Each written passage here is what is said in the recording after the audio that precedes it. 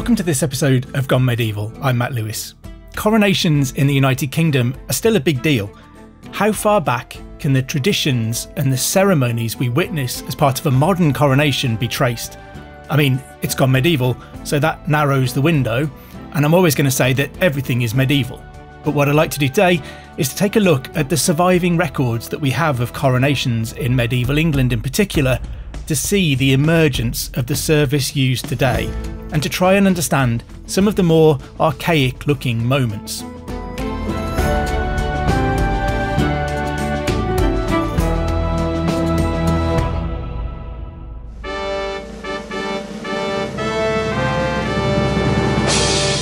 So here's your starter for 10. And to be clear, that's 10 I know my medieval history points, valuable only for bragging rights. When do you think is the earliest surviving record of a king being consecrated in Britain? If it helps, it relates to the accession of King Aidan of Dalriada, which covered western Scotland and northeastern Ireland.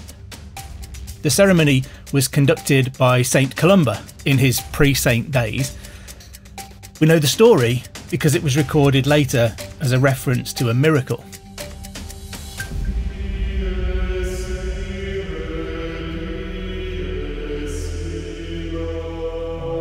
St. Columba had favoured Aidan's brother in the succession, but an angel visited him and told him to help Aidan become king. Columba grumbled at this, and the angel hit him with a scourge that left a livid mark that scarred Columba for the rest of his life and the angel threatened to hit him again if he didn't do as he was told. After three nights of visits, Columba gave in, went to the island of Iona, and made Aidan king. This account ends by explaining that Columba prophesied the future for Aidan's descendants, and then says, And laying his hand upon his head, he consecrated and blessed him. That last bit is a tiny passage, but is the first record of the consecration of a king in Britain, the act of anointing them that brings a religious, spiritual transformation into the ceremony. So, any idea when it was? Five points if you're in the 6th century, a full 10 points if you said 574. One of the core elements of the current coronation has been recorded for almost 1500 years. The next document that we can use to trace the evolution of the coronation ceremony is the earliest known order of service for a coronation. It isn't clear which king this was drawn up for, or whether it was meant to be a more general document. So I'm offering five points if you can get the right century, and a bonus five if you can tell me which city's library it can be found in.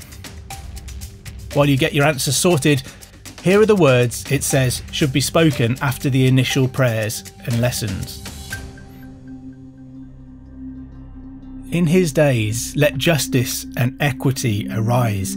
Let him be a help to his friends, to his enemies, a hindrance, a comfort to the lowly, to the exalted, a reproof.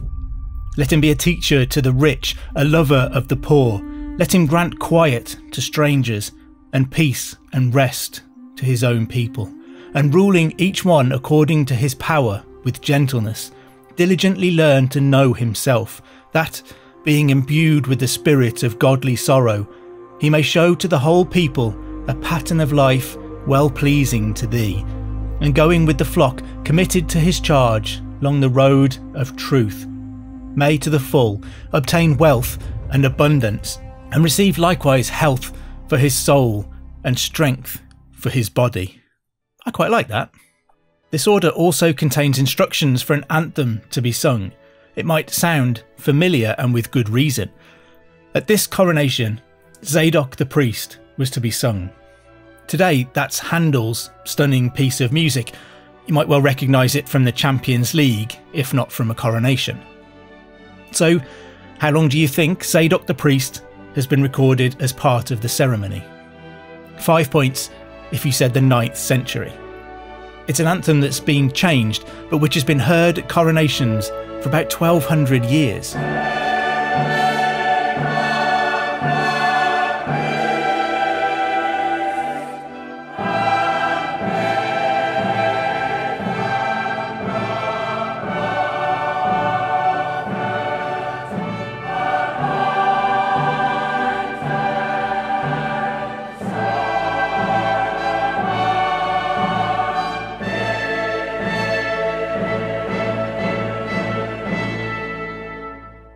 Has a fantastic episode coming for you on the coronation regalia, so I'm not going to go into that here. But the ceremony refers to the king being given a staff and a helmet rather than a crown, which is placed on his head by the bishops. It also describes the core parts of a monarch's duty at the end, something we'll see emerging more fully in later centuries. When the coronation oath becomes a core part of the service, it harks back to the Anglo Saxon principles outlined in the 9th century. These stated, it is the duty of a king, newly ordained and enthroned, to enjoin on the Christian people subject to him these three precepts. First, that the Church of God and all the Christian people preserve true peace at all times. Secondly, that he forbid rapacity and all iniquities to all degrees. Thirdly, that in all judgments he enjoined equity and mercy, that therefore the clement and merciful God may grant us his mercy.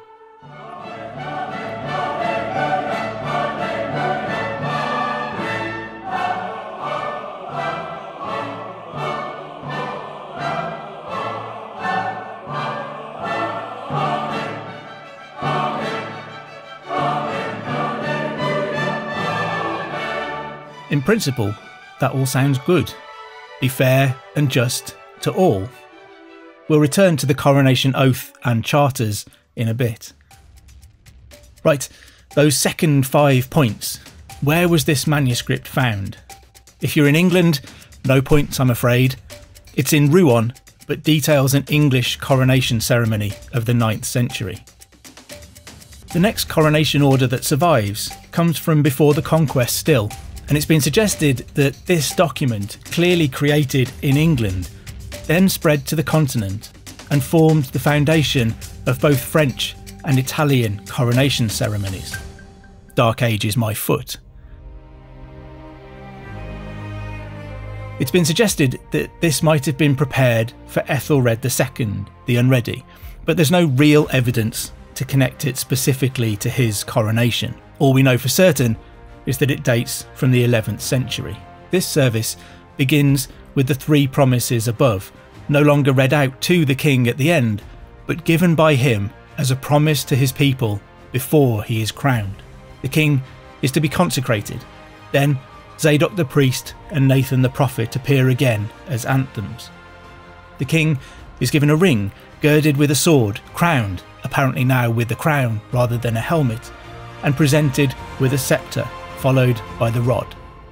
Five points in this round if you can tell me what went wrong at William the Conqueror's coronation, and another five if you can tell me the name of the Anglo Saxon council. They are connected, I promise. This 11th century coronation order may well have been used for the two coronations in 1066 of Harold Godwinson and William the Conqueror. Harold was crowned at the newly consecrated Westminster Abbey on the 6th of January, the day after Edward the Confessor's death, and on the same day as the old king's funeral in the abbey that he'd rebuilt. Classy. William's coronation on Christmas Day 1066 didn't go well, and part of the reason for that is to do with an old Anglo Saxon coronation tradition that William hadn't got rid of. Dukes of Normandy weren't kings, they didn't do coronations, so when William conquered England, he had to rely on the old establishment to provide him with this key element of becoming a king. They, in turn, probably followed tradition and used a coronation order that they knew. In Anglo Saxon England, there was no automatic right of succession for the oldest son of a king. The term Etheling meant something like throne worthy and is an equivalent of the prince in later times. A king was elected from the pool of throne worthy candidates that might include the old king's sons, but also his brothers and nephews. Here comes your chance for five points. The body that elected the king was the Anglo Saxon Council, called the Witenagemot, or the Witan for short, not the Wizengamot in Harry Potter. After the Battle of Hastings, the Witan had elected Edgar Etheling as the next king, but William proved too powerful to make that stick. Because William used the established Anglo Saxon coronation ceremony, it retained an elective element, and it still does to this day. William certainly didn't consider himself an elected monarch, and he would sweep away the Anglo Saxon structures of England in the years that followed 1066, yet somehow this remained. The other five points are yours if you knew that William the Conqueror's coronation saw London set on fire because his guards thought a riot had broken out inside Westminster Abbey. This happened because of this nod to the elective element of English kingship. The coronation was performed by Ealdred, Archbishop of York, supported by the Norman, Geoffrey, Bishop of Coutances. As the order required, the crowd within Westminster Abbey were asked whether they accepted William as their king. The Normans shouted their approval, and, not to be outdone, the Anglo Saxon lords competed to be louder and more enthusiastic. The monk, Orderic Vitalis, noted that both groups gladly shouted out with one voice, if not in one language. The guards outside mistook the cacophony for trouble within. Orderic recorded that hearing the tumult of the joyful crowd in the church and the harsh accents of the foreign tongue, they imagined some treachery was afoot. Their slightly odd response was to set the surrounding buildings on fire. It spread with frightening speed around the timber homes, and Westminster was engulfed in smoke and flames. The abbey doors burst open, and Anglo Saxon and Norman lords poured out, some to help fight the fire, and some, Orderic noted, to loot what they could in the chaos. Inside, only William and the clergymen remained. The Conqueror insisted they complete the ceremony, though Orderic says William was trembling from head to foot as they did so. It was hardly a great start for a new dynasty. The point is that asking for the acceptance of those invited to the coronation remained a key element at the opening of the ceremony, and it has ever since. It's little more than an illusion now, the election illusion. But it happened at Queen Elizabeth II's coronation, and at the start of King Charles III's, you'll be able to see the Archbishop of Canterbury ask on all sides of the abbey if those gathered consent to him becoming king. This election illusion is a tangible connection to an Anglo Saxon world largely swept away almost a millennium ago. Another coronation order survives from the 12th century. This one is sometimes attributed to Henry I's coronation, but again without any real evidence. The pattern is becoming clear by now. The king swears to observe the three promises in place since the 9th century to protect the church, to abolish evil laws, and to rule with equity and mercy. Then, one of the bishops asks those gathered whether they'll accept the person described as the king elect to be their ruler, though it also describes the required affirmation response for the crowd. The king is then anointed with holy oil on his hands, and then on his head, chest, shoulders, and both elbows. He's then given the sword to defend his realm, bracelets of sincerity, a pall, a gown or mantle similar to a bishop's, and is then crowned. Next, the king receives the ring, the sceptre, and the rod. After this, the clergy and nobility are to give homage to the king. It's all starting to sound very familiar, isn't it? Henry I's coronation is interesting, even if this document doesn't specifically relate to it. So, five points if you can tell me who Henry I married as his first wife, and five more for naming his only legitimate daughter. Henry was the youngest son of William the Conqueror, his oldest brother Robert was Duke of Normandy. The next became William II of England, known as William Rufus. When Rufus died in a hunting accident, or was it? In 1100, Robert should have become king as he'd agreed with William. However, Robert was away on crusade, so Henry swooped in and had himself crowned within 10 days of his brother's death. Henry made a great deal of being the first of the conqueror's sons to have been born in England.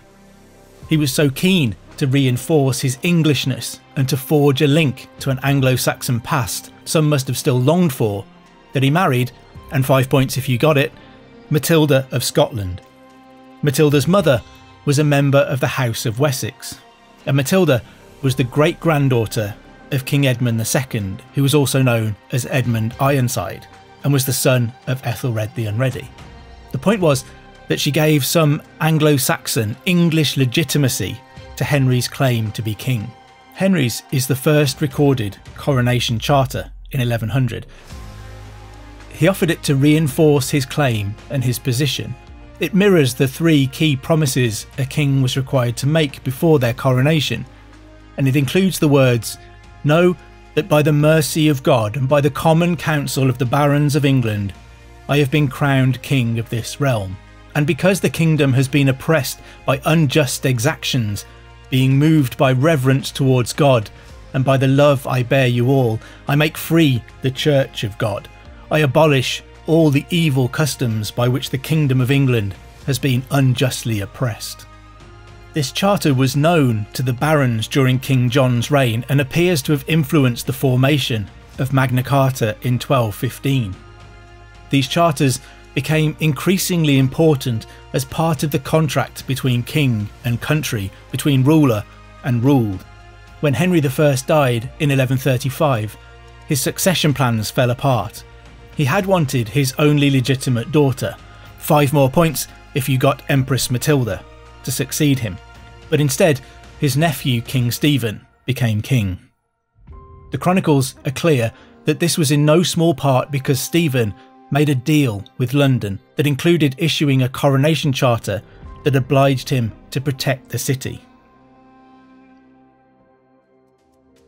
The next document covers the first fully documented coronation in English history.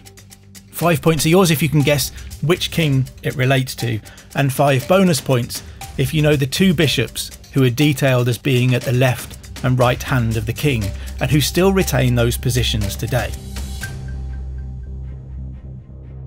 The account of this coronation is the first to describe the event in detail rather than being an order of service. It comes from Roger of Howden, though it appears elsewhere too, and it lists the people and order of the procession to Westminster Abbey and describes who carries which item of regalia. The first set of five points are yours if you guessed that this was the coronation of King Richard I in 1189. Which bishops do you think get a key position? Two points if you got the Bishop of Durham. Two points if you said the Bishop of Bath and Wells, and take all five points if you got them both. The Bishop of Durham traditionally stands on the monarch's right side and the Bishop of Bath and Wells on their left. That's been the case since at least 1189, so we're witnessing over 800 years of tradition here too. One interesting aspect of the account is that Richard is described as the Duke before he's anointed, meaning Duke of Normandy. This retains that nod to the elective element of a coronation. Richard is not king until he's elected and then anointed. The coronation makes him into a king, not the death of his predecessor. The law would be changed to bridge that gap in the reign of Henry III so that when he died in 1272, his oldest son, Edward I, succeeded immediately. Interregnums, with no king's peace to be kept, had proven destabilising and dangerous. Howden records that when the Duke came to the altar, he swore in the presence of the archbishops, bishops, clergy, and people on his knees before the altar, and the most holy Gospels laid thereon, and the relics of many saints, that he would keep peace, honour, and duty towards God and Holy Church, and her customs, all the days of his life. Secondly, he swore that he would exercise right justice and equity among the people committed to his charge. Thirdly, he swore that he would annul any evil laws and customs that might have been introduced into the realm and make good laws and keep them without fraud or evil intent.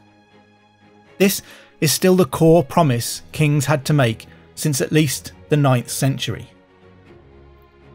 Howden then describes the anointing. He says Richard was stripped except for his shirt and breeches, and his shirt was torn apart at the shoulders. Later coronations would see the use of a specially created shirt with ties in the spots to be anointed that were undone and then neatly retied. In 1189, Richard's shirt was simply torn open.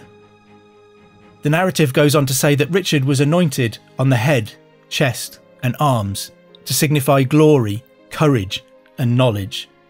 Richard's head was then covered with a linen cloth and a coif that was to be kept on for a week, after which it would be ceremonially removed and his head washed. One part of the ceremony we haven't mentioned too much yet is the homage given to the monarch after they were crowned. This symbolises the fact that once the coronation has been completed, they're in charge and are owed allegiance by everyone. Richard's coronation is interesting because Howden notes that he received homage from his bishops and barons the second day after his coronation, rather than at the end of the ceremony or at the coronation feast immediately afterwards. Homage was the confirmation of loyalty and service owed to a ruler. It usually required the person giving homage to kneel before the king with their hands pressed together as if in prayer. The monarch would enclose the vassal's hands in their own while the oath was recited. Coronation orders give the wording to be spoken for clergy and nobility separately.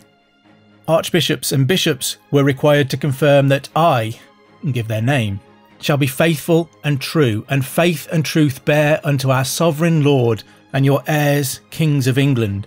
And I shall do and truly acknowledge the service of the lands which I claim to hold of you, as in right of the Church, so help me God. Peers would swear fealty with these words I, giving their name and title, do become your liege man of life and limb and of earthly worship, and faith and truth I shall bear unto you to live and die against all manner of folks, so God me help. With that, it was largely done. The kingdom was variously saddled or endowed with a new ruler who would define the lives of the people for years, perhaps decades to come. If there was any lingering sense of an elective element, even the Anglo Saxon had been clear that once a king was anointed and crowned, they were king forever. It wasn't something that could be undone, at least not by the 12th century. Edward I was the first king to succeed immediately on the death of his predecessor, but he also introduced another part of the coronation ceremony that remains a fixture to this day.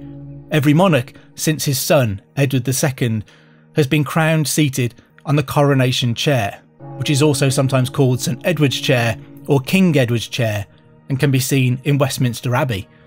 This wooden throne was commissioned by Edward I in 1296 to contain the Stone of Destiny, or the Stone of Scone, the Scottish coronation stone. Kings of Scotland were traditionally crowned while seated on this stone. Edward I sought to reinforce the overlordship of Scotland that he claimed by taking it to London and having it installed under the seat on which rulers of England would be crowned. Super subtle, Edward. Every monarch since Edward II in 1308 has sat on the coronation chair to be crowned with the Stone of Destiny beneath them. The stone was returned to Scotland in 1996, but is due to return to London for King Charles' coronation. He'll be the 30th monarch in a row to sit on the coronation chair at this moment, just as his mother did 70 years ago. While we're mentioning Edward II, the holy oil used in the coronation was for a long time said to have been delivered to Thomas Becket by the Virgin Mary. Part of the story was a prophecy. It was claimed that the fifth king after his would conquer the world. The fifth king after Henry II was Edward II, who didn't conquer the world. One other odd thing that emerged as a result of the prestige attached to the coronation was the Court of Claims. It isn't clear precisely when this was established, but the first minutes of a meeting before a coronation come from the preparations for Richard II's ceremony in 1377. This court's job was to arbitrate the various claims to offices, posts, rewards, or swag that arose around the time of a coronation. Ordinary people could get in on the act too. Traditionally, expensive cloth was laid along the route of the coronation procession from Westminster Hall to Westminster Abbey. The portion within the abbey was donated to the abbey as its fee for performing the coronation. The part that was outside the abbey door was cut up and distributed amongst the crowd. It was really valuable cloth, so there was a financial incentive to attend the coronation as well as getting to see the king and help him celebrate. One of the other really well recorded coronations is that of Richard III. Now, I know you didn't think I was going to go through the whole episode covering the span of the medieval period without mentioning this guy. Richard III's coronation has detailed records that tell us who carried what and where. For example, Thomas Lord Stanley carried the constable's mace and would take a central role in deposing Richard two years later. Stanley's wife, Lady Margaret Beaufort, the mother of Henry Tudor, carried the Queen's train, yet her son would defeat Richard at Bosworth. The swords used at the coronation each bore a meaning, and the Earl of Northumberland carried the blunt sword of mercy and was present at Bosworth on Richard's side, but failed to intervene on the King's behalf. Richard's coronation is particularly interesting because his wife, Anne Neville, is crowned during the same ceremony. This was a rare occurrence. There were only three others between the conquest and Bosworth, five points for each of them that you can name. If a king was married when he came to the throne, he could have his queen consort crowned at the same time. As early as the second coronation order that we have, the one from the 11th century, there are instructions for what to do if the queen is to be crowned as part of the same ceremony. It generally follows the same process, but after the king and sort of as a junior ceremony. The first five points are yours if you knew that the last time this had happened before 1483 was the coronation of Edward II and his wife Isabella of France in 1308. So in 1483, it was the first time this had happened for 175 years. This reflects a, a hugely unsettled period in English history. Edward II was deposed by Isabella in favour of their son, Edward III, who was 15 at the time, Edward III was succeeded by his 10 year old grandson Richard II, who was deposed by his widowed cousin Henry IV, whose unmarried son succeeded him and was in turn succeeded by his nine month old baby son as Henry VI, who was then deposed by the unmarried 18 year old Edward IV. The coronation of Richard III and Queen Anne Neville must have appeared to represent a return to a more settled period there was a settled, married couple with a son coming to the throne for the first time in almost two centuries. I wonder how many plotted, even on that day, to ensure it wasn't to be so. Now, those are the two coronations of a king and queen consort in post conquest England. What have you got? The one before Edward II and Isabella was his parents, Edward I and Eleanor of Castile. Five points if you got that one. The other one? That was Henry II and Eleanor of Aquitaine, the founders of the Plantagenet dynasty. Take another five points if you got that. Right, so there's been a total of 60 points up for grabs in this episode. If you've kept score, let me know on social media how you got on. So, what can we learn and understand from medieval coronations?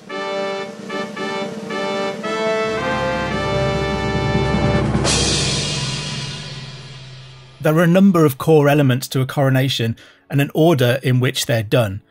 The main ones I'd identify are firstly the recognition, which is that leftover elective part. Despite being a remnant of an Anglo Saxon world largely swept away after 1066, to this day the ceremony begins with those within Westminster Abbey, where all coronations since 1066 have taken place, being asked for their approval of the new monarch. It's an odd survival, though no one has ever been brave enough to refuse. If a coronation is like a marriage ceremony between a ruler and a realm, this is the bit where the vicar asks if anyone knows of any reason why the marriage should not go ahead. So far, everyone has always held their peace, or at least given their approval. Probably not least for fear of being handed their peace by an angry medieval king if they dared to object. The next part is the oath, this has changed very little in substance in over a thousand years. It used to be a promise delivered by the monarch. It was the active part that they took in their coronation. Either side of it, things are done to them. More recently, the Archbishop of Canterbury will ask the monarch questions to which they respond. If we continue the marriage analogy, this is the exchange of vows and the I do moment. Next comes the anointing, which I'm struggling to make fit the wedding thing because it's something very different. The act of anointing is the bit that makes a person a king or a queen. It's transformational. It mirrors the way that bishops and archbishops are invested. It marks the monarch as God's chosen ruler, but also as the people's chosen ruler, confirmed by them and now elevated to a semi sacred status. The Church has always been careful to point out, though, that it doesn't bestow on the monarch any of the status of a bishop or archbishop within the Church. The anointing has always happened out of view because of the sacred nature of the moment. At Queen Elizabeth II's coronation, the television cameras weren't allowed to film that portion of the service. There's some talk of King Charles commissioning a canopy with a translucent top so that it can be seen this time. If that happens, it'll be the first time in more than a millennium of the history of coronations in England and the United Kingdom that the public will be able to witness this moment. We would literally be watching history for the first time. The next really significant moment is the crowning, which is something like the putting on of a ring at a wedding. It's the symbol of the permanent transformation that has taken place. At the end, the homage seals the union, and it might be the equivalent of the for better or for worse part of the wedding vows. Maybe the marriage thing is a clumsy metaphor, but there's more to all this than an archaic ceremony. If you watch Charles's coronation, you're watching something that has been happening in an incredibly similar format for at least 1200 years. Particularly in the medieval period, before constitutional monarchy, it can seem like going through a series of motions, the outcome of which is the title King of England. But I don't think it was ever that simple. In Anglo Saxon England, a monarch was elected, but once elected and crowned, could not be removed.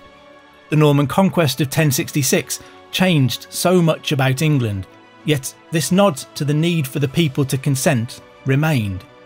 In 1135, there was an effort to paint King Stephen as having been elected, so the desire to retain the illusion and rebuild it into a reality remained strong.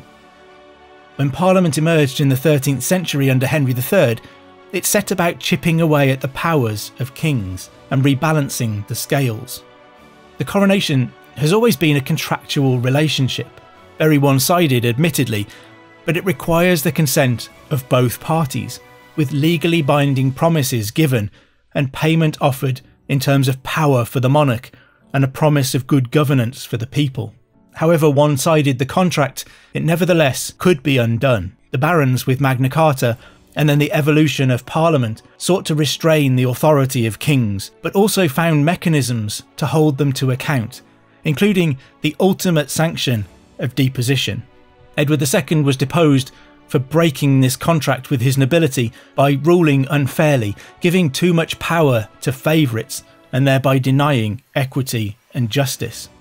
Richard II lost his crown ultimately because he tried to deny the laws of inheritance by snatching his cousin's lands. That wasn't the deal his nobility had signed up for, so when that cousin returned to claim his inheritance, he was encouraged to take the throne as Henry IV. Henry VI lost his crown because he was utterly ineffectual. He didn't fulfill his side of the deal by ruling justly and fairly, which often required a strength that Henry didn't possess. Medieval kings of England had unrivaled power, but it wasn't unlimited, and it became increasingly less unrestrained as the medieval period progressed. There was always a quid pro quo. Power was given against the promise that it would be wielded for the good of all. Failing to meet the obligations imposed could lead to the ultimate sanction of the removal of that power.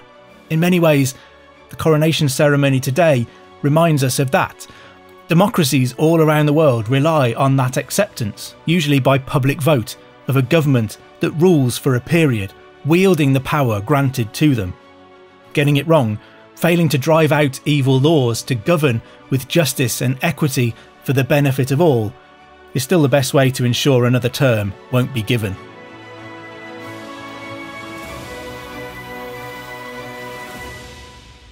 For me, a coronation is a huge moment of historical interest, from angels slapping saints into doing as they're told, to remnants of an elective monarchy that slipped through the conquest net, and the slow efforts to reduce the power of the crown. Theatre and pageantry, little changed in more than a millennium, will be watched by millions in their homes around the world. It's also a gentle reminder of the way we expect to be treated on the other side of the contract being created. We consent, receive assurances, give power, and judge the outcome. There'll be some cracking gowns and hats too, I guarantee it.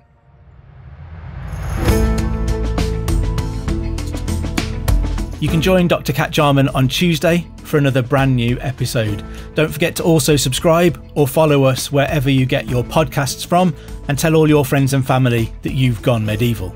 If you get a moment, please drop us a review or rate us anywhere that you listen to your podcasts, including Spotify. It really does help new listeners to find us. If you're enjoying this podcast and looking to go a bit more medieval, then subscribe to our Medieval Mondays newsletter. Just follow the links in the show notes below. Anyway, I would better let you go. I've been Matt Lewis, and we've just gone medieval with History Hit.